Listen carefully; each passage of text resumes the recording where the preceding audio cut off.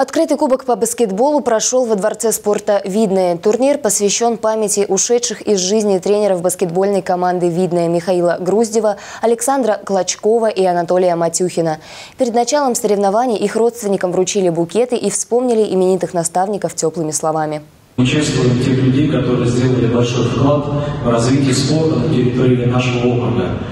У нас э, много таких людей, и для меня лично очень приятно, что мы их помним, а как мы знаем, э, человек живет пока мы его помним. Организатор Кубка по баскетболу «Городской центр спорта». Принять участие в соревнованиях могли все желающие команды.